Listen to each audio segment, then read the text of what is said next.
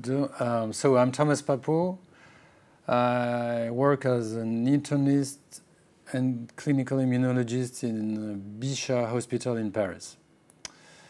So my talk is about relapsing polychondritis, which had many names over time, and it is true that inf um, inflammation starts at the cartilage periphery.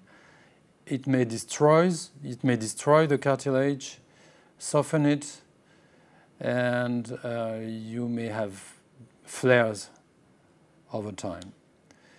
The disease is rare, with a prevalence of 4 per million of subjects. It may occur at any age, even if the mean age at first symptom is 45 years. Uh, slightly more female and survival at five years it's 95%. Uh, uh, but mortality is twice the general population. Um, so there is uh, one very classic model in the animal, which consists of injection, uh, collagen injection in the rat. The animal develops polyarthritis at uh, day 13, and later on, after a few weeks, uh, chondritis, as if a first hit was exposing hidden antigens in the cartilage to the immune system. Uh, there, there is a uh, striking fact. One third, in one third of RP patients, you have another disease, well-characterized disease, and among those disorders, many um, involve joints. So dealing with chondritis itself, well, uh, the ear is painful, it's swollen, uh, it's red. Uh, patients, it's difficult for them to put their head on the pillow because it's painful. You, the, the chondritis may flare in the, the other ear over time and becomes atrophic or very or calcified. And the most peculiar uh, sign is that the chondritis spare the earlobe. The earlobe is devoid of cartilage and so it's not inflamed and it's rather specific. It may become like that over time, like the cauliflower ear. For the nose, it's not very different, except that you may have atrophy without pre previous uh, pain, inflammation, and patients often have difficulty to wear glasses. So it affects mainly um, the middle cartilage, the septum, and here you see a very famous French actor, Michel Serrault, who had relapsing polychondritis at the end of his life with this typical saddle, saddle nose.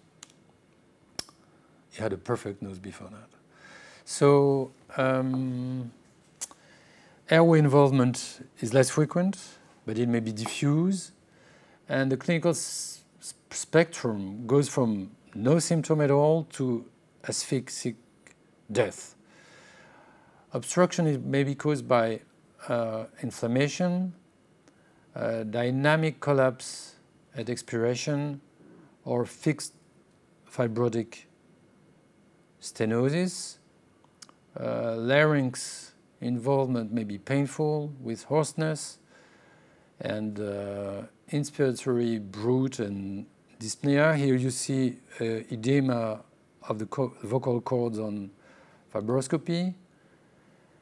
And you may also have bronchial or tracheal um, involvement. And most, most patients are first considered asthma because of uh, the wheezing and expiratory dyspnea.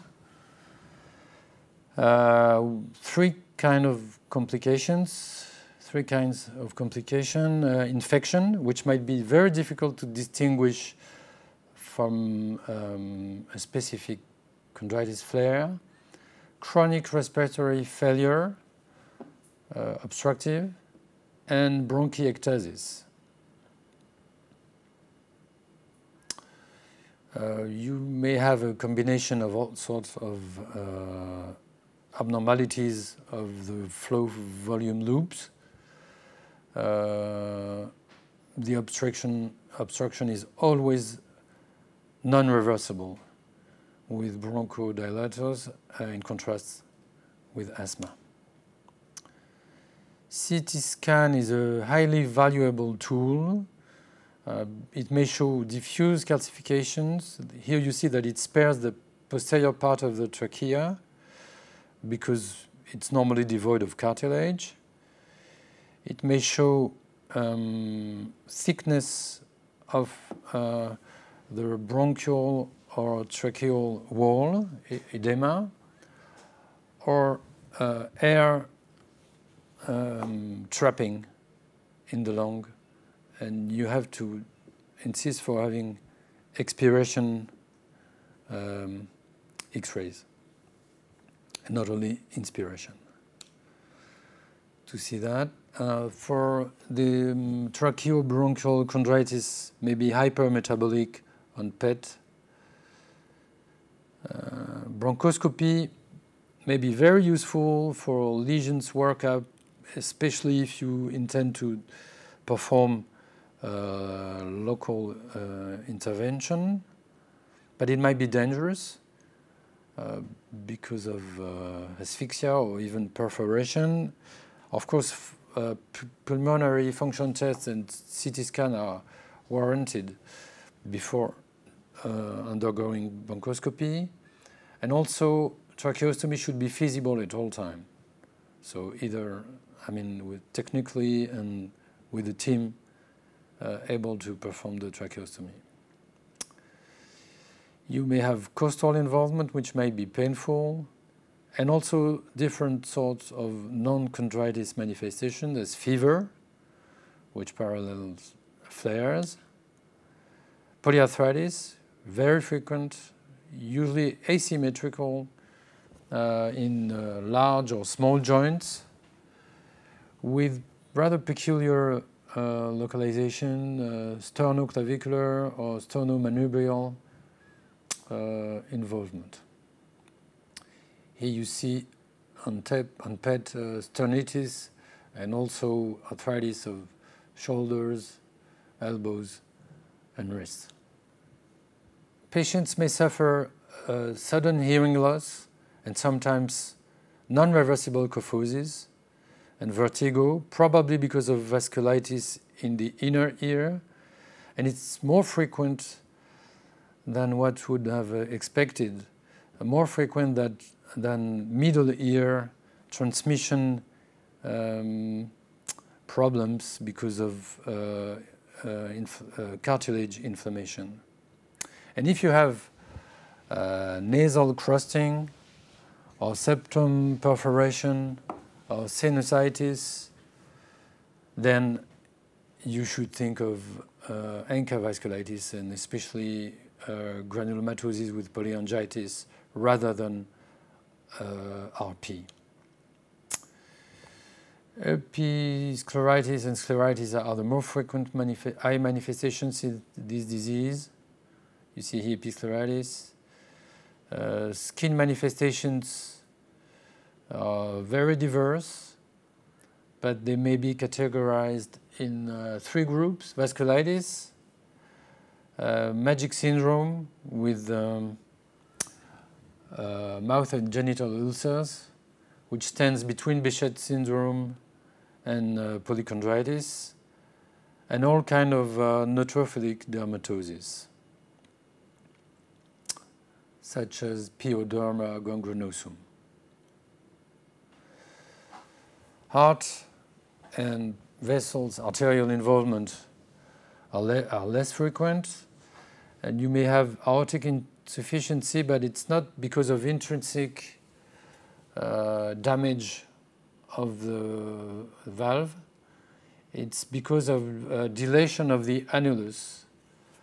Uh, then you have um, insufficiency. You may have pericardial inflammation, myocardial involvement, either because of ischemia related to coronary vasculitis or interstitial mm, uh, inflammation, uh, proper myocarditis. Um, vasculitis is mostly large vessel aortitis um, with aneurysm, aneurysm of the initial part of the aorta. Blood tests are non-specific. You may have inflammation. You may have the specific markers of the associated disease disorders as lupus, rheumatoid arthritis, or spondyloarthropathy. Anti-cartilage antibodies are completely useless in terms of specificity, sensitivity, or predictive values. p-ANCA may be present, but they are neither anti-PR3 nor uh, MPO on ELISA. This is a very peculiar niche, a very peculiar subgroup, uh, which um, concerns 10% of RP patients, uh, which are old men, and they have uh, myelodysplastic syndrome.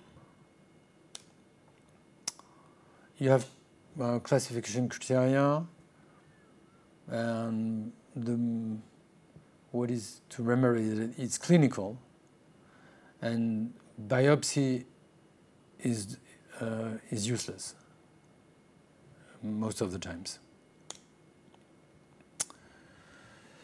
Uh, it might be confused with infection or even with um, uh, leukemia localization. For the ear, for the nose, the main diagnosis is uh, with uh, vasculitis and in children, it may be difficult, especially for the uh, abused child, child syndrome or syphilis. Probably the most interesting data in the past years. It's a French study on 142 patients. It was a cluster analysis, and you see here for instance, in the left lower part of the graph, then death, male sex, skin, and myelodysplastic syndrome are gathered. And it is true.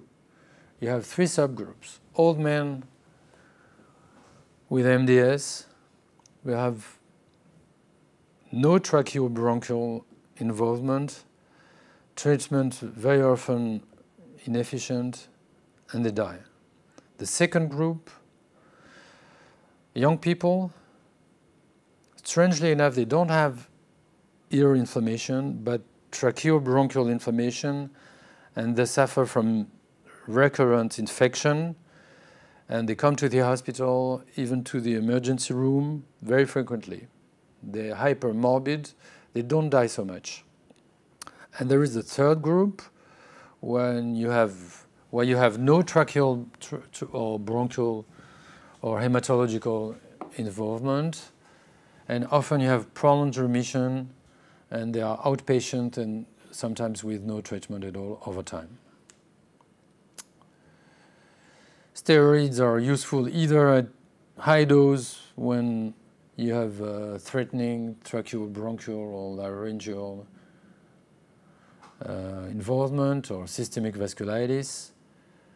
Uh, low-dose steroids are useful for regular chondritis of the ear or nose or polyarthritis, and when it fails, or you have dependency or uh, steroid-related side effects, then you have to use immunosuppressants, mostly methotrexate. Uh, biologic have been studied in one retrospective study in 41 patients. It was also performed in France with anti-B lymphocytes, uh, inhibitors of uh, T cell co-stimulation, IL-1, TNF, IL-6. uh, what is to remember? The response rate, I mean, patients which are still responding at six months on the biologics taken as a whole, uh, it's, it's two-thirds of the patients. But complete response, no sign, no symptoms, and normal level of CRP, it's rare. It's the minority of the patients. It could be that adding on biologic to methotrexate is better than biologics alone. Uh, it was disappoint disappointing, but uh, there, is, there was no obvious steroid sparing effect that series. We don't use abatacept anymore because some patients have flared with severe flares um, under the treatment. And is, uh, have, has a weak effect and with a low response frequency. Rituximab was considered inefficient, um, but now, now uh, I mean, it may be useful, especially in older men with uh, myelodysplastic syndrome.